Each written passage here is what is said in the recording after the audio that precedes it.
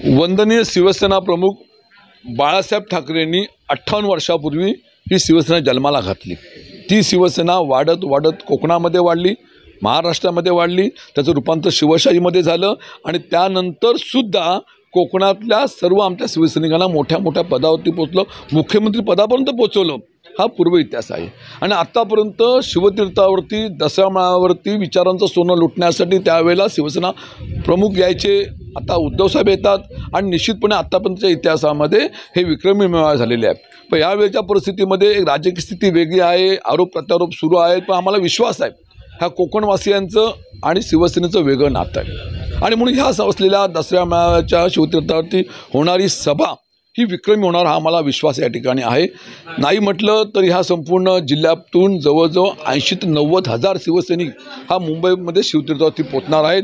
आणि मग त्या रत्नागिरी जिल्ह्यामध्ये माझ्या मतदारसंघामध्ये अठरा ते वीस हजार शिवसैनिक मोठ्या संख्येने पोचतील हा मला ठिकाणी विश्वास आहे. आणि म्हणून संपूर्ण देश संपूर्ण जग संपूर्ण राजकीय पक्ष ह्याची दखल घेईल आणि विक्रमी सभा होईल हा मला विश्वास आहे. जनशक्तीचा बुलंद आवाज म्हणजेच रत्नागिरी खबरदार.